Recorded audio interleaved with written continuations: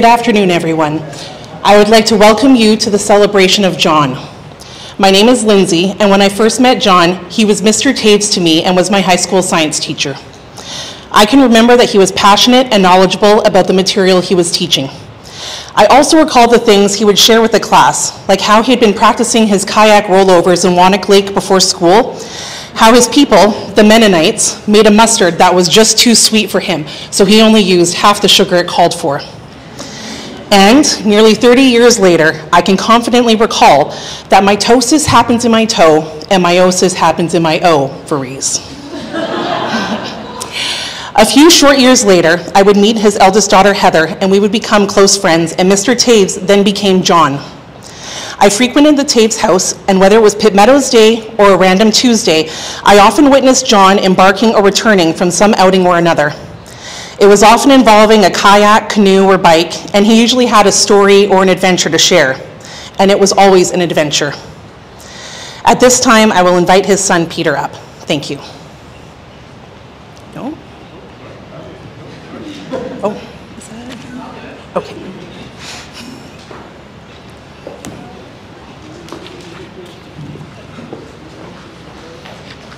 Never mind, I'll do this part.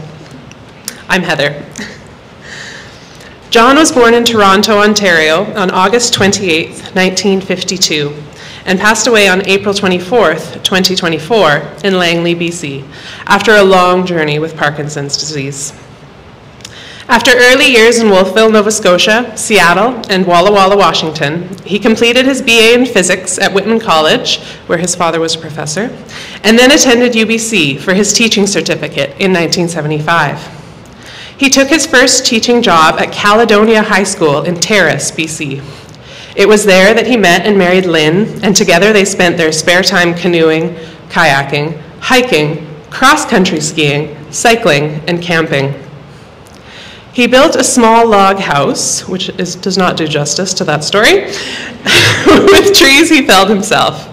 They welcomed Heather and Kathy to the family, and then in 1988 moved to, to, to Pitt Meadows, where they welcomed Peter soon after. John taught physics, chemistry, and computer science at Pitt Meadows and then Westview Secondary Schools until his retirement in 2008. His students were entertained with the many physics demonstration gadgets he invented.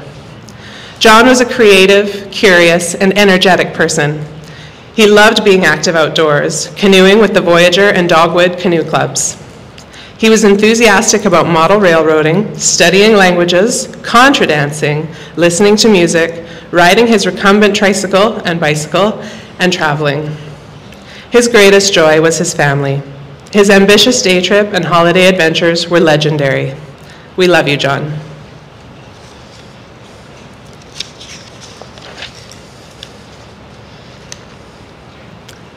Death is Nothing at All by Henry Scott Holland. Death is nothing at all. I have only slipped away to the next room. I am I, and you are you. Whatever we were to each other, that we still are. Call me by my old familiar name. Speak to me in the easy way which you always used. Put no difference in your tone. Wear no forced air of solemnity or sorrow. Laugh as we always laughed at the little jokes we enjoyed together. Play, smile, think of me. Pray for me. Let my name be ever the household word that it always was. Let it be spoken without effect, without the trace of a shadow on it. Life means all that it ever meant. It is the same that it ever was. There is absolute, unbroken continuity. Why should I be out of mind because I am out of sight? I am but waiting for you for an interval, somewhere, very near, just around the corner. All is well.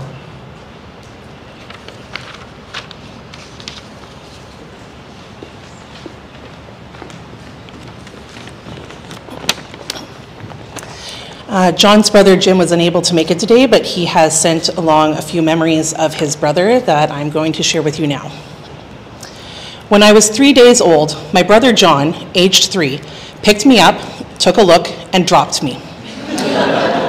This explains a lot about both of us. Things got better from there, with John becoming a caring, inclusive kid all through school. I remember his kindness and acceptance of others. Who they were, what they looked like, or where they were from made no difference. In college, John became active in the Christian student group on campus and developed his heart of caring and inclusion, especially for people with challenges in their lives. As a family, we almost always had college students and old people over at the same time for Sunday dinner. John began to bring home some of his new friends. Two that I remember, which really showed who he had become, were a blind young lady and a fellow who was a deaf mute. John was sure to include them in the conversation as much as he could, including writing out much of the conversation for the deaf fellow. Years later, John got a teaching job in northern British Columbia. There he met Lynn and fell in love with her, and they planned to get married. Our parents were spending our dad's sabbatical in Germany. John called me to let me know that he had proposed to Lynn and she had said yes. The next time we spoke, he asked me what mom and dad had said about Lynn and their engagement. He was aghast when I told him I had never mentioned anything about her to them, that it was not my place to tell them about any of this. John sent them a telegram to bring them up to date. Getting married. Love, John. you can imagine their consternation. Years later, when they moved to, Van- to, the Vancouver area, he and I began going into Vancouver and going to a different, different ethnic restaurant each time. We would walk miles around the city on our way to lunch. This tradition continued until he was no longer able to walk any distance. I cherish the memories of these times. During one of these adventures, John and I went to an Indian restaurant.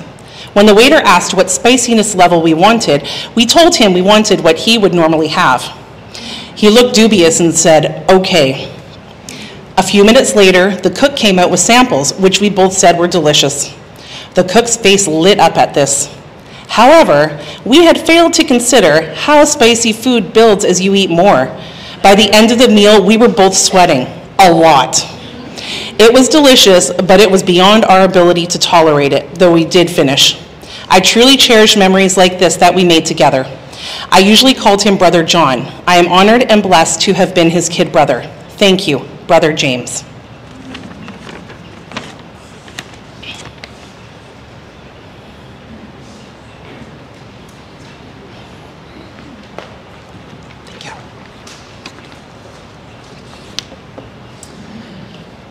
Not everybody gets to say goodbye to their loved ones. I felt very lucky to have those hours alone with Dad just holding his hand overnight in his last few days. That hand that did so much for me in my life. It was the hand that followed the command of my first word up, taught me to cross the street, picked me up when I fell down, held on to my bike when I was so scared to lose my training wheels. It was the hand that walked me home for lunch one day when I showed up to his school because I had forgotten my lunch at my school. Uh, it was the hand that wrote out clear explanations of the science concepts I was studying in high school. The hand that drove in a snowstorm so a friend could join me at my party. Uh, it was the hand that handed me the cheeky 20 when I was a poor uni student so I could have a little fun. It was the hand that learned to write Chinese characters to help us be connected when I moved across the ocean. And it was the hand that helped me fix my bike on my last time living here. It was the hand that was slowly taken over by Parkinson's and could do less and less. But it was the hand that helped me become me. The hand that left me with so many good memories. I love you, Dad. Thank you for everything. You will be forever in my heart and memories.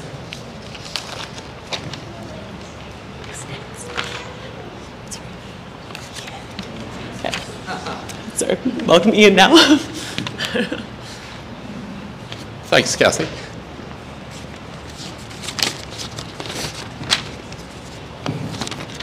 Hopefully I don't break down too much. My name's Ian, my wife Joanne. We were, John and Lynn were great neighbors. They lived with beside us for years while we saw their family, all the kids grew up along with our son Devin. John was an easy man to talk to, always available for conversations. Joanne, and, and, on our way back from the mailbox, would often stop by when hearing John working in the carport. And I would wander over at times to see what he was doing. Hey, John, it's the nosy, nosy neighbors, we would say. What are you up to now? I talked to John one day about my cedar strip canoe a friend and I built but never paddled. I said I like canoeing, so soon after he asked me if I would paddle with him and other members of the Dogwood Canoe Club, and later became the Dogwood Canoe and Kayak Club. I did many paddles with John as we used his vehicle to carry the two canoes. Even before paddling, John, I would notice John leaving with his solo canoe and later on with his kayak for morning paddles. He and I even camped together one time when the club did a paddle across the line on the ocean and spent the night in Larrabee State Park. It had an active railroad nearby and we would wake us up in the middle of the night. At one, at one time, John had three canoes and two kayaks. Before he moved, I bought his 18-foot clipper canoe that I used for canoe trips. We did lots of paddles and had lots of one-day outings, which I thoroughly enjoyed with John. John also got into triking. The trikes were the, were the recumbent type. He had three at one time. I pedaled with him around Pitt Meadows on several occasions. One time I was invited to go with him and Bill, his brother-in-law, on a three-day triking event in northern Idaho. We did lots of pedaling on several sections of old rail bed, one with a steep grade and a long tunnel. It was pretty exciting, and I had a good time with Bill and John. John also got into model railroading, railroading for a time. As far as I can remember, I never did get to see a setup, but he did show me a few of his engines and train cars. One day, John asked me if I would like to go with him and see Tommy Emmanuel at the Queen Elizabeth Theatre. He played a few videos for me to hear some of his music. I agreed and went. It was a great evening. Even before the show, he took me to an Ethiopian restaurant for a meal and on Commercial Drive. John had eclectic taste. He enjoyed a wide variety of anything and everything. John was always tinkering with something. I was impressed with the bike rack he made for a trike to go on the back of his SUV. He, he attached an electric motor to the side of a canoe, but not with, with not much success. It worked in some places, but shallow places made it more of a problem than it was worth. John was always working on projects or modifications to try and make things more adaptable for himself. He tried to figure out to put an electric motor on one of his trikes, but sadly, that didn't work out. We went to a trike meets in Idaho. We needed to transport three trikes. He had the deck and wheels of a small utility trailer, to which he added sides, a rear ramp, and wheel slots in the middle of the roof to which the third trike was strapped. One day I heard him working again in the carport. I went over to see what he was making, and he was making a kitchen knife holder complete with holes for the rare earth magnets he had bought online. I noticed for a time that he had what I thought were Chinese characters. He was teaching himself some Mandarin words to prepare himself for a trip that he and Lynn were taking to visit Kathy, who was teaching English in Taiwan. He was always up for a challenge. Okay. John knew he had Parkinson's and would at times talk to me about this. I would help if I could at times when the shaking got too bad for him to complete a task. He also told me one, he also told me one time he was like two different persons. He called them John A and John B. Perhaps it was some dementia as well. There are probably lots more things about John that I have not remembered. But just, but just wanted to say that we admire John's courage, tenacity, and adaptability in his life, especially as he faced challenges. He was a great neighbor and generous with his friendship. John smooth waters and paved rail trails. Thank you. You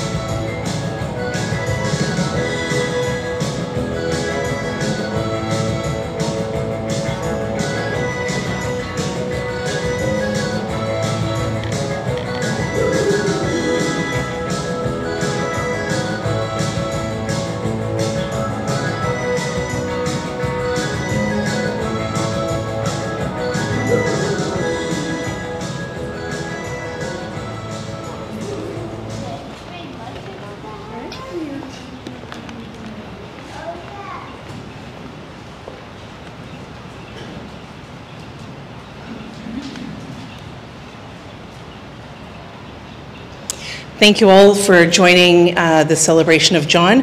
At this time, you're invited to join the family for refreshments, and you can feel free to pull chairs up to tables if you'd like. Thank you.